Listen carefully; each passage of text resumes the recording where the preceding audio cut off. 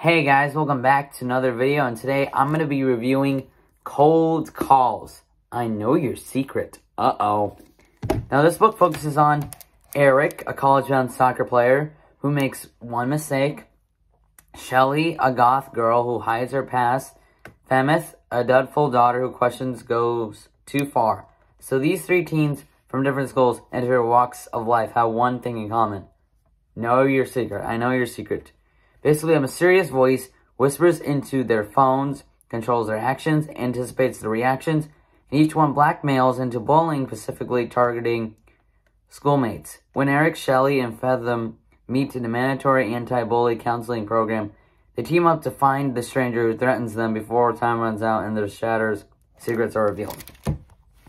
Now, the concept sounds really good. It definitely has, like, a really good idea for a story, and I love, like, the idea the problem is, it's the way it's executed is like, it's still a really good idea, but like sometimes I feel like, like they have too much like, um, kind of unnecessary plot points, which is really sad because this book definitely has a clear idea of being really good, but in the end, they made it just so cliche, which is not a good thing. It's just not the best.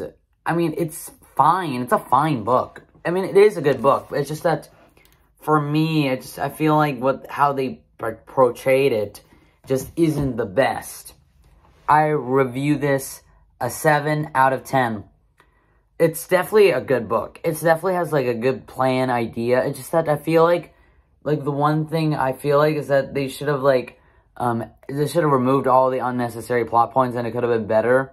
I could have given it like an 8 or a 9, but like with all these unnecessary plot points, it makes the story kind of just feel unnecessary. Like, the characters are pretty good and all that, but, like, I don't know, I just feel like with some of the unnecessary plot points, it's not the best. But, I mean, it's still pretty interesting to read. I definitely, one of the most interesting books I've ever read, but also, it just has some unnecessary stuff, so, yeah.